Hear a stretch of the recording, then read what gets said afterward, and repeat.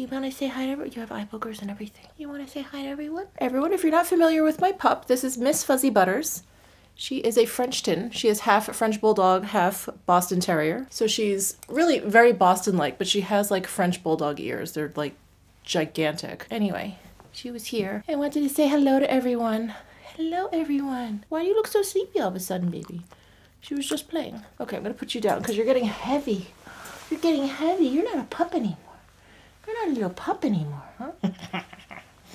cutie, cutie, cutie. Hey guys, we are going to be trying out a brand new concealer today. This is the Giorgio Armani Power Fabric High Coverage Stretchable Concealer. I have it in the shade 3. I purchased this at Nordstrom and it was $34. And we're going to be doing a full day wear test with this. I'm going to apply it in different ways on uh, both sides of my face just to kind of see how different applications work. I'll do a check-in and then I'll do a final review at the end of the day. So I had mentioned this in my Will I Buy video from last week, and a bunch of you actually commented that you would love to see me test this out. So here is what the bottle looks like. It looks very much like the Armani like lip glosses or lip maestros. It's the same shape too. And the doe foot, oh, this is a lot more like liquidy than I thought. I thought it was going to be, since it's like a high coverage, I thought it would be kind of like thick and tacky, but it seems really thin. But here is a close-up of the doe foot applicator. It's actually angled at the top. I hope you guys can see that. It's like just straight up and down and it's pretty flexible. So when I apply concealer, I apply it over my foundation and uh, right now I have a little bit of my Edward Bess Ultra Dewy think complexion perfector something it's called something like that. Anyway i used shade uh, one light in that product. I have that all over my face. Just a light layer. I just kind of wanted to even out my skin tone but i didn't want to cover too much because i wanted to see how much coverage this had. I'm probably going to look pretty weird all day but that's okay. We're doing this for science. So I'm trying to think. I usually apply concealer, you know, with my fingers or with a brush. I don't usually use a beauty blender unless I'm already using a beauty blender, a sponge, like, you know, to apply foundation. Like if I have one handy, basically, I will use it, but I don't generally. So I think what I'm going to do is I'm going to start uh, by applying it and tapping it out with my finger on this side. So I'm just going to apply some straight from the doe foot. And since it is high coverage, I'm gonna go slow because you can always add more later. Uh, I'm not going to put any on the lid just yet. I wanna see, again, how high coverage this is. I'm just gonna take my finger and tap this out.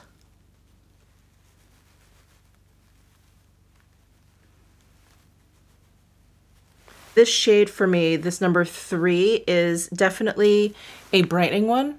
You can see how much lighter it is than the rest of my face. I tend to like concealers that are a little bit more brightening, so I am okay with that. But if you have a similar skin tone to mine, you'll probably want to look into something a little bit deeper. So I'm just tapping and tapping, just making sure it's all blended out. Looks kind of crazy over here. This is probably one of the thinnest uh, consistencies I've come across. In terms of a concealer, I feel like I mean, it's probably not quite as light as the By Terry, the Terrybly Denseless. I always mispronounce that. Um, that serum concealer that she has, but it's it's kind of similar to that. Everything else that I use has a bit more thickness, has a little bit more substance to it.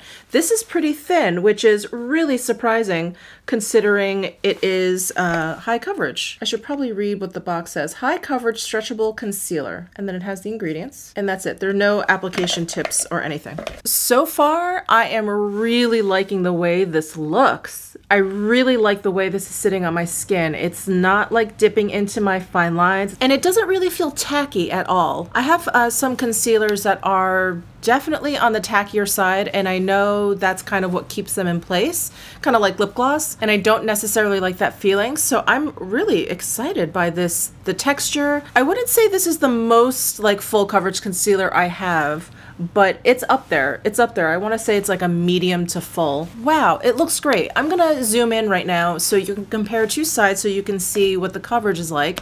And you saw I just put like four dots basically under this eye. And this is the side without anything. And I think not only is it not sinking into my fine lines, at the moment I feel like they're kind of blurring my fine lines. Now, I don't have necessarily like very dark circles under my eyes, but I do have like discoloration. You can see like right around my eye area that my skin is a little bit darker. And so that's what I like to even out. And since I like that brightening effect, I really like to kind of bring down the tone of my skin around my eyes. So I'm gonna go ahead and apply some on this side. I'm gonna put four dots again, and then I'm gonna use a concealer brush to blend that in. So let me go ahead and apply here. So one, two, three, four. And I'm gonna use one of my favorite concealer brushes. This is the Sigma Precision Round P82. It has like this nice dome top. I just think it, it kind of like stamps concealer in really nicely. It almost like mimics my fingertip, you know, it's just like this tap, tap, tap motion. I think the application with the brush is a little bit uh, thicker um, and then the product didn't go quite as far. I feel like on this side it almost reached my hairline. I had to kind of keep blending it out. But over here it just sort of stopped right around here. I think I like the side with the finger application more. So I'm just going to tap this in a little bit. I always feel like that kind of smooths it out. Wow, I am really liking this concealer so far. I think it looks great. I'm going to zoom in again so you can see this eye, compare the two applications.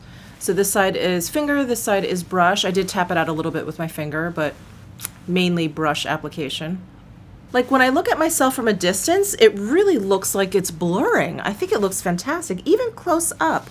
I feel like my fine lines just really look minimized. All right, I've just been sitting here a couple minutes. I just want to see if it kind of sets down uh, to kind of like a matte finish. I think I remember reading on the website that this is supposed to be like a very matte concealer, but it still feels a little bit tacky. I do feel like I'm gonna have to set this down because of this tackiness, but I think what I wanna do, again, for science is I'm going to set down one eye and I'm going to leave the other eye alone. I just want to see if it creases. And I should mention now that I do have dry, eczema prone, like sensitive skin. Just thought that would be helpful information. So let me go ahead and get some setting powder and we'll set one eye. All right, I have my Clé de Peau setting powder. I grabbed this one. I've been using my Koh Gen Do like natural finishing powder a lot, but I tend to reach for that powder if I'm going for like a kind of a glowy look, if I've used like liquid highlighter or really radiant foundation or something like that. But because this concealer,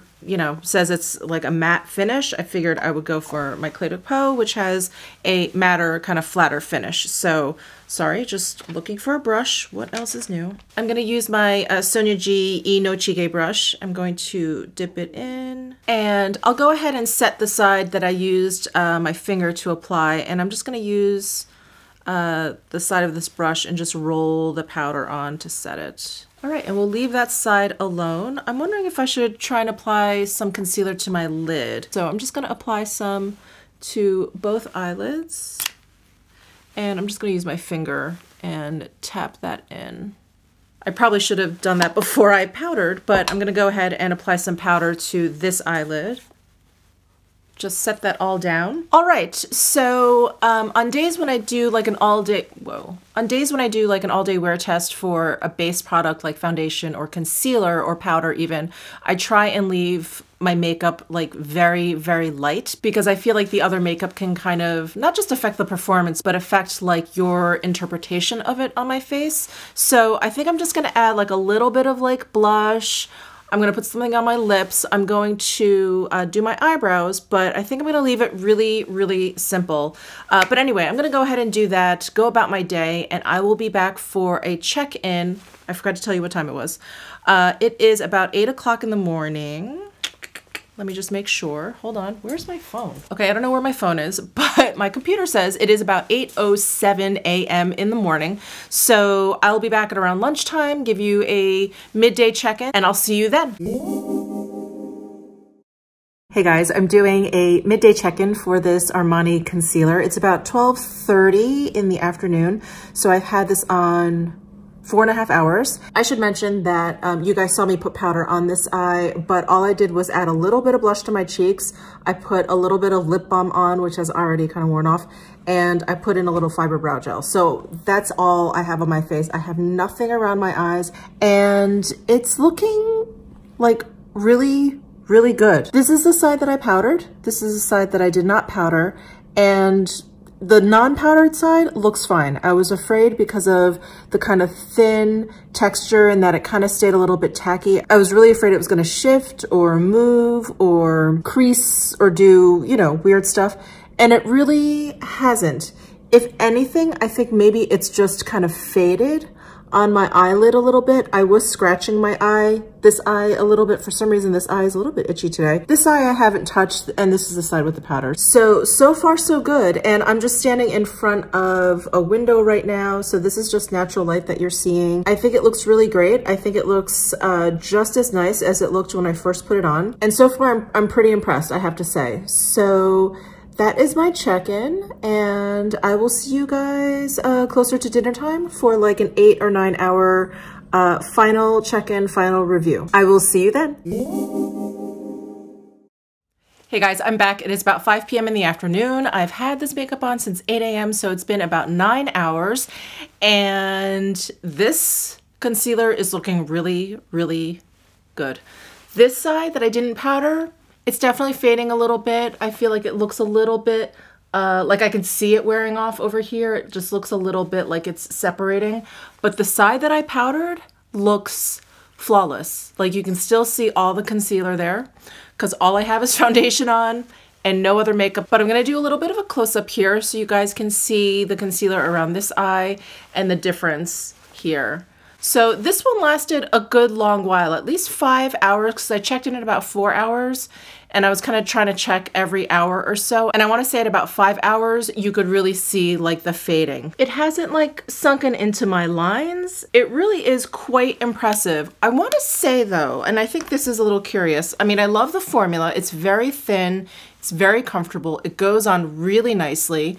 It blends out beautifully. I really liked using my finger with this. I didn't like it as much with the brush. I really liked using my finger. I think probably because it is so thin. I think the brush ate up a little bit too much of the product. But this is supposed to be like a super high coverage like matte concealer where to the point where I was a little bit scared, especially knowing or being familiar with the Armani Power Fabric Foundation. But I don't think that's the case. I mean, I think it is, you know, it's not radiant at all. There's no shimmer to it, but I didn't find it like a flat, flat matte. I also don't find it to be like super high coverage. I mean, there's definitely coverage there, and I would say it's probably medium, medium, high, but it's definitely not, it's not like a Shape Tape situation where you like put one dot for me, you know, you put one dot and that is enough for like your entire eye area. So I don't think it's as like high coverage as they're making it out to be. So I really, really love this concealer. Of course, this is the first impressions. This is the first day that I'm wearing it, but I am very impressed and I'm much more pleased with it than I thought I would be. So that is it for today's video. I hope you enjoyed it. Please give it a thumbs up if you did. Please comment down below if you have any questions. Don't forget to subscribe before you leave and I'll see you in my next video.